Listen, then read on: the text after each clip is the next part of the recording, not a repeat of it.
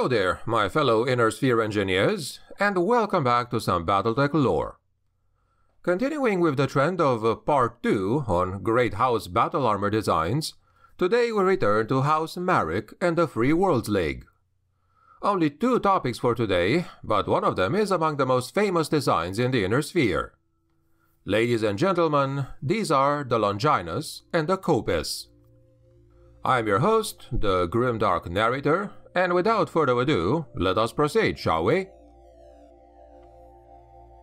The Longinus masses at 1 ton and a cost of 425,000 C-bills. This particular design was the Free Worlds League attempt to duplicate elemental battle armor. Although they were not able to match the original Clantech machine, it was the closest any Inner Sphere design came at the time, thanks in part to the help of the Word of Blake. Initial development began in October 3054.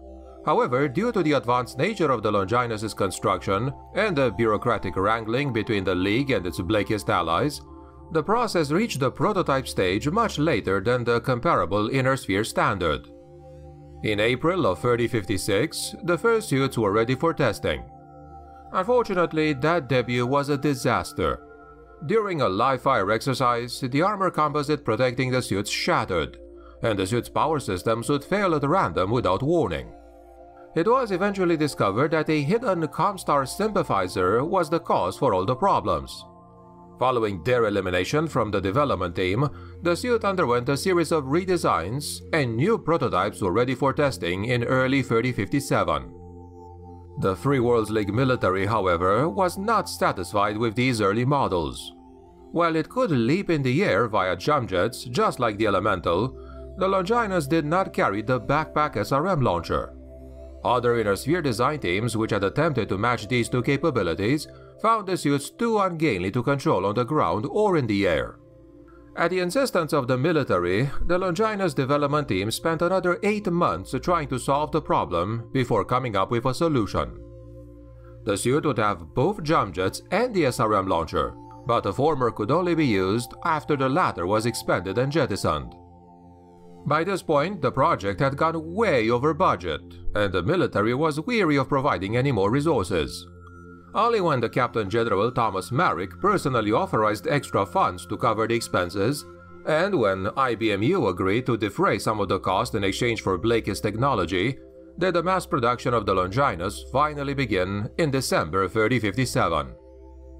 The first suits were ready to go in Operation Bulldog, where they proved themselves in combat against the elementals they were inspired by.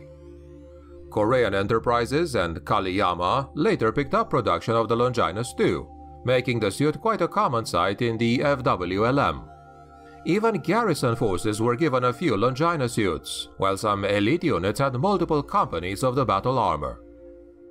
Despite the significance they provided in the battle armor's development, Captain General Marik was unwilling to supply the Blakis with the Longinus, especially not for their planned invasion of Terra.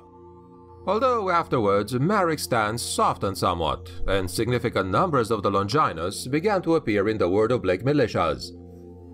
Equipment-wise, the Longinus came closest to mimicking the capabilities of the actual elemental suit which inspired it, and was considered at the time the best ever built by the Inner Sphere. The right arm of the suit ends in a modular weapon mount, which can carry a standard small laser, a flamer, or a machine gun. After 3063, it could also carry a David light Gauss rifle. Its left arm ends in a battle claw and features an anti-personnel weapon mount, which can carry a light weapon for use against unarmored infantry, such as a submachine gun. Most importantly, the suit features an integral SRM-2 launcher carried on a detachable mounting. Safety mechanisms prevent the Longinus from engaging the jump jets while the launcher is still attached, but once it is jettisoned, it can make leaps of up to 90 meters at a time. Jettisoning the launcher is also required in order to make anti-mech attacks. Finally, the launcher carries only one round of missiles, due to the additional safety mechanisms taking up all the space. If you're asking me, that's way too much effort for just a couple of SRMs. Maybe invest in more armor. The Longinus was also revolutionary for carrying an advanced armor composite, which almost perfectly matched the clan's composite on their own suits. The 360 kilos of plating covering the Longinus is enough to withstand a full blast from a large laser and keep the trooper alive. It was also responsible for the tremendous price increase of the suit as the new manufacturing processes were required to supply enough of the material. Come 3069, the magnetic variant of the Longinus came up. This one finally replaced the detachable SRM pack and modular weapon mount for magnetic clamps, one machine gun and one heavy machine gun, for increased anti-infantry firepower and the ability to be carried by non-OmniMechs. Maybe one of the most interesting variants of this thing is the so-called Longinus Hacked. This is an experimental refit of the Longinus built in 3079 by one Mark Chiphead Japalucci, a tech of the Principality of Regulus. This guy was working in conjunction with Apple Computers Interstellar to help rebuild the Regulan military using salvage technology. He took a standard Longinus, reduced its jumping ability to 60 meters, shed 120 kilos of armor, and limited the weapon payload capability. However, he was able to install an experimental battle armor C3I system captured from the Word of Blake. These hacked models could carry either a light machine gun or a David Light Gauss rifle in their right arm and still carry the AP weapon mount and the battle claw in the left. Although effective in extending a sensor network and providing targeting data, this was a huge trade-off, and it did not make it worthwhile. The second of today's battle armors is the Kopis. This one is a much bigger boy at 2 tons. When the Longinus factory from Etna Foundries from Oriente was sabotaged by Blakist operatives, Thomas Halas became keenly aware of a need for alternative production facilities. Halas approached StarCorps to provide a manufacturing base. Their Emris 4 facility had been producing industrial exoskeletons for some time, and they had a good reputation. They were also more than willing to produce a battle armor of their own, or at least try. Previous attempts to move into this market had been stymied by the Free World's government and likely Blakist influence to maintain control of the League's battle armor design and production. Securing manufacturing facilities was only the first problem, though. Powered exoskeletons were one thing, but to produce a high-end assault suit required a lot of technical know-how that StarCorps did not yet have. They would solve the problem by reaching out to Duchess Alys Rousset-Marik, and in exchange for access to production units, she agreed to help acquire the technical know-how that StarCorps needed. Using her extensive resistance network, Rousset-Marik was able to contact a leading scientist from Irian battlemechs. Having escaped the Blakist-controlled Irian, but still on the run, this Dr. Hiram Sundahar was more than happy to accept employment with StarCorps, and would quickly head up their new battle armor research division. With Blakist technical documents, also obtained by Rousset-Marik's resistance, Sundahar quickly had a prototype assault suit ready for field trial. Released only days before the final assault on Terra, it was the only Kopis that saw limited use before the liberation of Terra. This anti-personnel variant was built to deal with the fanatical Word infantry expected to defend Terra's urban centers. It replaces its twin medium lasers with a pulse laser and a flamer. The first of these were fielded in late 3077. Assigned to the 12th Atrean Dragoons under the direct command of Alys Rousset-Marik, the suits were there when Alys liberated Outreach. In a set of brief pitch battles, Wanamaker's Widowmakers were devastated by the Dragoons and other units of the Free Worlds Group 1. The Kopis suits saw their first combat when a mixed company of Widowmakers attempted to break out of Rousset-Marik's encirclement. Two squads of them were dispatched by Vitol ahead of the retreating mercenaries.